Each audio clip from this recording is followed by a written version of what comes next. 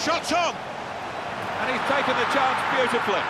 For the EA Shield, there's a lot of competitive games going on, and this one is just that. The scores are now level, they've equalised here. Ah, really sloppy goal to concede that. The manager would be less than pleased.